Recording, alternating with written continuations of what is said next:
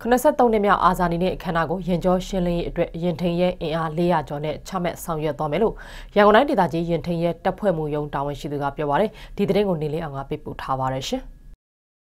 83နှစ်မြောက်အာဇာနည်နေ့အခမ်းအနားကိုနိုင်ငံတော်ကြီးကဲတော်တော်များများကတက်ရောက်ဂါရပြုဖို့ရှိပါတယ်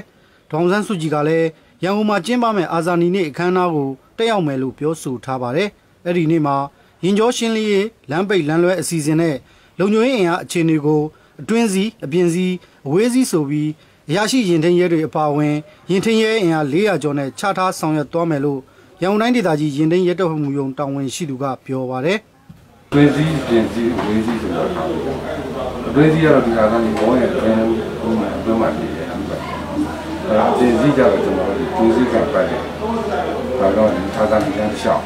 နောက်ရှိကုန်တိုင်းတိုင်းတစ်လျှောက်ဒါတွေကတော့သူကဒီလိုပါအနည်းကအနည်း စီဝေးစည်းကြတော့ကျွန်တော်တို့ဒီလမ်းကြောင်းတစ်လျှောက်ဒီမြတ်လာတဲ့လမ်းကြောင်းတစ်လျှောက်အဲအဲ့ဒီမှာချတာဒါအပြင်လမ်းပိတ်လမ်းလွဲအခြေအနေတွေကိုလည်းအကြီးအကဲတွေဂါရပြုတက်ရောက်မဲ့မနက်ပိုင်းအချိန်ကလေးကစတင်ပြီးနေရာလုံခြုံရေးလမ်းကြောင်းလုံခြုံရေးရင်နှန်းလုံခြုံရေးဆိုပြီးသုံးနေရာခွဲခြားထားဆောင်ရွက်သွားမယ်လို့ဆိုပါရဲ့ပ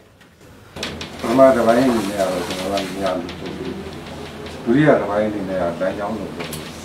တော့တတိယတစ်ပိုင်းအနေနဲ့ ရင်တန်းလုံခြုံရေးဆိုတော့အပိုင်းသုံးပိုင်းနဲ့ဆောင်းရတော့မှာ။ဒါနေရာလုံခြုံရေးနဲ့ပတ်သက်ပြီးတော့မှရာရှိ concession ကိုအခြားစဉ်190စုစုပေါင်း168မိနစ်တောင်းဆောင်းရတော့။အဲလမ်းကြောင်းတစ်လျှောက်လုံခြုံရေးအတွက်ကတော့ရာရှိ18မိနစ်အခြားစဉ်66စုစုပေါင်း83မိနစ်ဒါကျွန်တော်ဆောင်းရပြီးတော့ဒါတော့ရင်တန်းနဲ့ဒီလူကြီးနီးကမှလိုက်တယ်ရင်တန်းလုံခြုံရေးအနေနဲ့ 6ပေါင်း50ပေါ့။ရာရှိက9အခြားရှိက50စုစုပေါင်း95အဲ့တော့နေရာသုံးခုအတွက်အားလုံးပေါင်းလိုက်လို့ရှိရင်စုစုပေါင်းကရာရှိ140ပဲအခြားရှိက306စုစုပေါင်း130အဲ့ဒါနဲ့ကျွန်တော်ဒီအာတာနီလေးကိုဆောင်းပြီးတော့